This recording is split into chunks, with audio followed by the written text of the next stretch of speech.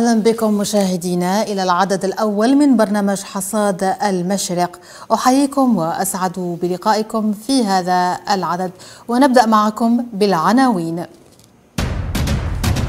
الرئيس الجزائري عبد المجيد تبون يحث رؤساء البعثات الدبلوماسية في المشرق العربي على مضاعفة جهود التكفل بانشغالات الجالية وتوطيد العلاقات مع الدول الشقيقة.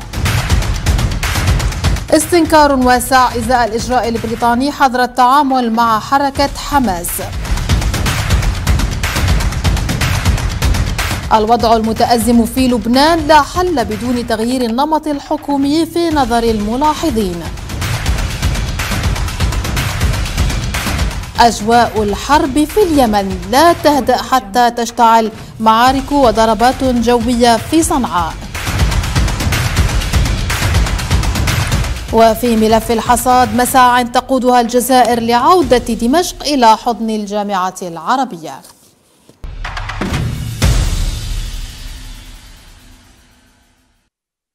أهلا بكم مشاهدينا. مجددا إذا نلتقي كل خميس في هذا التوقيت لاستعراض أبرز الأحداث المستجدة في منطقة الشرق الأوسط. ونقف بشكل خصوصي بالعرض والتحليل عند موضوع من قضايا الساعة. تحت مسمى ملف الحصاد. وقد ارتأينا في هذا العدد الأول أن نسلط الضوء على قضية مثيرة للجدل. ويتعلق الأمر بإمكانية عودة سوريا إلى أحضان الجامعة العربية. هل هذه العودة واردة بمناسبة انعقاد القمة العربية القادمة في الجزائر؟ أن أم أمن أمر الحسم فيها ما زال مبكراً. الإجابة تأتيكم بعد استعراض أهم أحداث الأسبوع في منطقة الشرق الأوسط. بداية شهد مطلع الأسبوع في عدة مناطق بالضفة الغربية أحداث عنف مفتعلة كان وراءها عشرات المستوطنين الإسرائيليين الذين قاموا بأعمال عنف وسلسلة من الهجمات ضد الفلسطينيين العزل حيث أصيب العديد من الفلسطينيين جراء هذه الاعتداءات والتي تم خلالها قطع الطرق وتحطيم العديد من المركبات. في عملية جريئة من الجانب الآخر هاجم مواطن فلسطيني مستوطنين إسرائيليين في منطقة باب السلسلة بالقدس. قتل أثناء هذه العملية مستوطن إسرائيلي وجرح أربعة أفراد آخرين. من بينهم ثلاثة جنود إسرائيليين إثر اشتباكهم مع منفذ الهجوم الذي استشهد وهو مقدسي يدعى فادي أبو شخادم في هذه الأثناء أعلنت حركة حماس التي تبنت العملية أنها شرعت في تحرك واسع لمواجهة قرار الحظر الذي اتخذته وزيرة الداخلية البريطانية بريتي باتل ضد الحركة في خطوة جديدة منحازة لإسرائيل. مزيد من الضوء حول هذا الموضوع في هذا التقرير. إلى حين تنفيذ القرار بشكل رسمي من طرف مجلس العموم في بريطانيا استنكرت عديد الدول العربية وأخرى غربية تصنيف حركة حماس ضمن المنظمات الإرهابية بذريعة أن الأخيرة تريد إزالة الكيان الصهيوني من الوجود حسب ما جاء على لسان وزيرة الداخلية البريطانية بريتي باتل.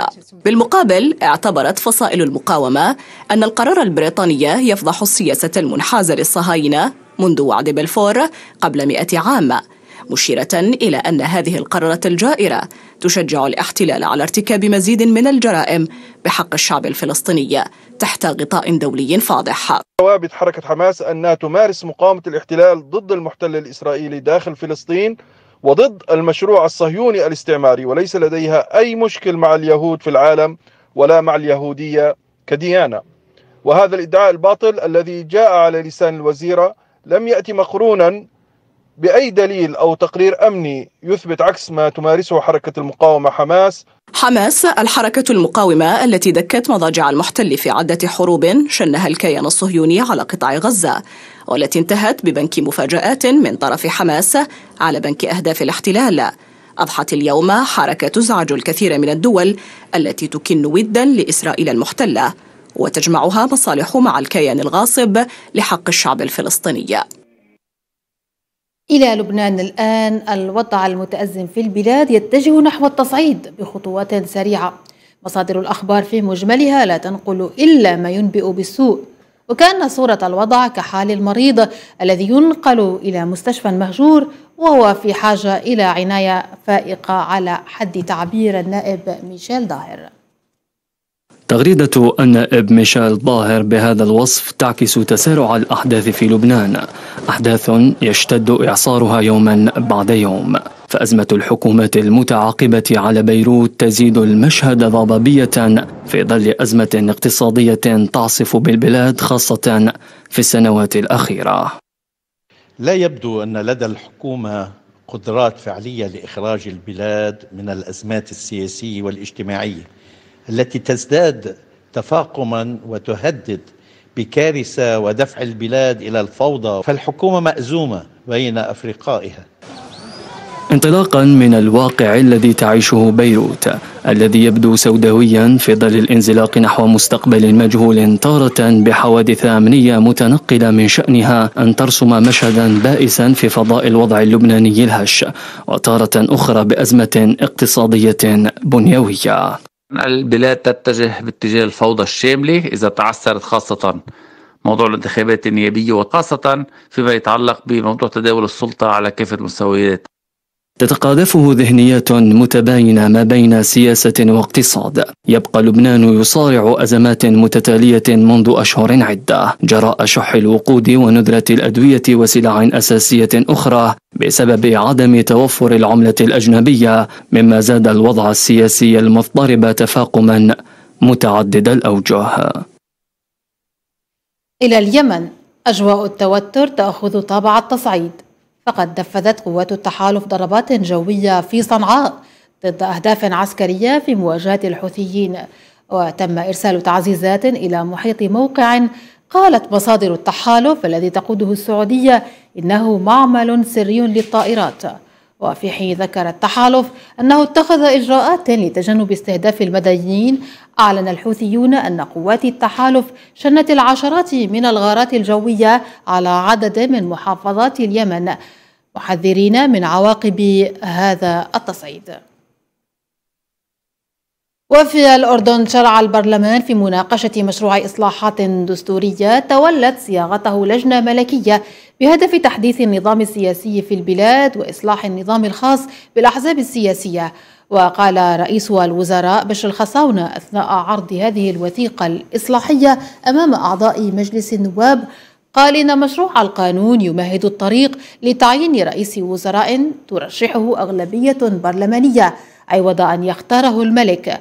ومن بين التعديلات المقترحة في المشروع إنشاء مجلس للأمن الوطني والسياسة الخارجية ليتولى جميع القضايا المتعلقة بالدفاع عن المملكة والأمن الوطني.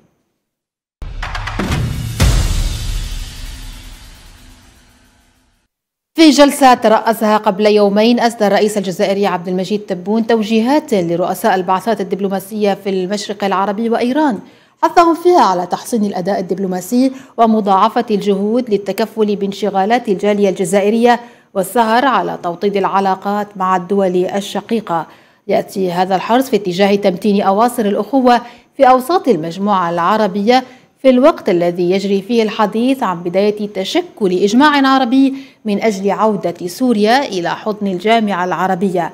تزامنا مع إعلان الرئيس الجزائري عبد المجيد تبون قبل أيام عن تحديد موعد انعقاد القمة العربية القادمة في الجزائر في شهر مارس 2022 التفاصيل في سياق التقرير التالي. هذا الموقف المؤيد لعودة سوريا إلى محفل الجامعة العربية ليس جديدا. فقد كانت الجزائر معارضة منذ البداية للقرار الذي اتخذته الجامعة في نوفمبر من عام 2011 بتجميد عضوية سوريا على خلفية لجوء النظام السوري إلى الخيار العسكري. لمواجهة الاضطرابات والاحتجاجات التي عمت مختلف المناطق السورية والتي صارت تعرف بالثورة الشعبية المناهضة لحكم بشار الأسد. ولم تقدم الجزائر على غلق سفارتها في دمشق طوال مدة الأزمة التي مضت عليها عشر سنوات. التحرك الجزائري من أجل إعادة ترتيب البيت العربي تستعيد فيه سوريا مكانتها الطبيعية. يتزامن مع جهود عربية أخرى وجهود من جانب روسيا أيضا أملا في عودة دمشق إلى حضن الجامعة. ومن المرتقب أن تطرح هذه المسألة في القمة العربية الخامسة والثلاثين التي تستضيفها الجزائر في غضون أربعة أشهر بعد أن صار العديد من البلدان العربية ينفتح بشكل هادئ على سوريا مثل ما صرح به في وقت سابق الأمين العام للجامعة العربية السيد أحمد أبو الغيط مشيرا إلى أن الجزائر تتصدر المساعي الجارية في سبيل عودة سوريا إلى الحضن العربي. وترى مصادر عليمة في الجامعة العربية أن أمر عودة سوريا يصبح واردا عندما يتضح الإجماع العربي على ذلك كما أن الجامعة ما زالت تنتظر ترحيبا سوريا بشأن هذه العودة كخطوة إجرائية. وتتمثل آلية العودة في إصدار المجلس الوزاري للجامعة مشروع قرار يرفع من المندوبين ويحال على القمة لإقراره إذا عودة سوريا بحسب المواقف التي ما زالت متحفظة مشروطة بتحقيق خطوات الملموسة في اتجاه المصالحة السورية وفي اتجاه الحل النهائي للأزمة التي أنهكت المجتمع السوري. لمناقشة أهم الجوانب المرتبطة بهذا الملف. نسعد أن نستضيف معنا عبر سكايب السيد علاء الأصفري. أهلا بك سيدي. أسعد الله أوقاتكم وأرحب بكم آه، لشعب الجزائر اطيب تحية وهو الشعب الصديق للشعب السوري. سيدي سبق لأمين العام للجامعة العربية أنه صرح بأن هيئته تنتظر خطوة إجرائية من السلطات السورية كتعبير عن ترحيبها بالمساعي الرامية إلى عودة سوريا إلى الحضن العربي أو إلى حضن الجامعة العربية لأقول. ما يعكس استعدادها للتجاوب مع مساعي العودة هل تتوقعون أن يصدر عن السلطات السورية أي ردة فعل؟ طالما سوريا آه، ترغب في هذا في رجوع العلاقات العربية السورية ورجوع العرب إلى الحاضنة السورية وأيضا أن تكون سوريا في الجامعة العربية. هذا آه، مطلب سوري بامتياز ومستمر طبعا. شكرنا الكبير للجزائر التي لطالما وقفت مع الشعب السوري في محنته والتي طالما عرفت بأن الحرب على سوريا كانت حرب إرهابية وليست حرب حريات كما يراد أن يشاع عليها اعلاميا. وخاصة أن الجزائر قد اكتوت سابقا نعم بنيران نعم. الإرهاب. لذلك سوريا تفتح ذراعيها وهذا مطلب سوري بامتياز. سيدي الجزائر أكدت على لسان وزير الشؤون الخارجية السيد رمضان العمامرة بأنها تأمل في عودة سوريا إلى الجامعة العربية بعيدا عن التدخل في شؤونها أكيد طبعا داخلية. ولكن بعض الأطراف العربية تلمح إلى شرط التسوية السياسية في سوريا. كيف تنظرون إلى هذا الأمر؟ يعني أن تكون تسوية سياسية كشرط للدخول إلى الجامعة العربية أو حتى لعودة يعني خليني أقول العلاقات إلى سابق عهد أو ليست إلى سابق عهدها بالأكيد يعني عودة العلاقات السورية مع الدول العربية كيف ترون هذا الأمر؟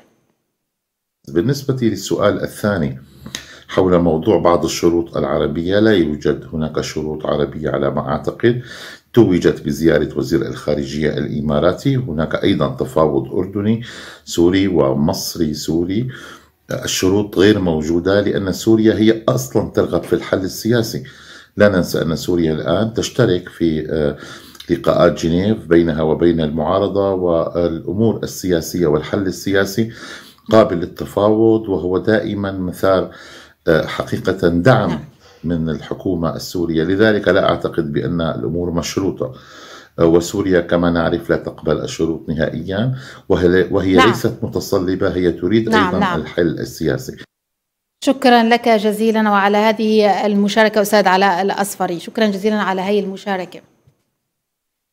إذا يبقى ملف سوريا مفتوحا على المتابعة الإعلامية لأهميته. أشكر طبعا ضيفي الكريم على كرم المشاركة في هذا العدد الأول من برنامج حصاد المشرق. إذا أقول لكم نتحول الآن إلى شيء من الثقافة. فنوجه أنظارنا إلى أجواء مهرجان القاهرة السينمائي ضمن هذا التقرير. فيلم هوليو بوليس للمخرج الجزائري جعفر قاسم ينافس في مسابقة آفاق السينما العربية وبذات التظاهرة تحضر المخرجة الجزائرية صوفيا جاما ضمن لجنة التحكيم. يشاهد جمهور مهرجان القاهرة فيلم بنات عبد الرحمن من إخراج زيد أبو حمدان من الأردن وفيلم بلوغ من إخراج هند الفهاد وفيلم من القاهرة للمخرجة هالة جلال. ويشاهد أفلاما عدة في عروضها الأولى بمنطقة الشرق الأوسط. مثل سبعة كلاب من إخراج رودريغو غيريرو من الأرجنتين ولو انهارت الجدران للمخرج المغربي حكيم بالعباس ويومية شارع جبرائيل للمخرج الفلسطيني رشيد مشهراوي وقدحة للمخرج التونسي أنيس الأسود وتمساح النيل للمخرج نبيل الشاذلي من مصر. المهرجان الذي يعد واحدا من أعرق المهرجانات في العالم العربي وإفريقيا تختتم فعاليته في الخامس ديسمبر القادم. إلى هنا مشاهدينا وصلنا وإياكم إلى ختام هذا العدد الأول. إليكم تحياتي وتحيات فريق البرنامج. شكرا للمتابعة في أمان الله.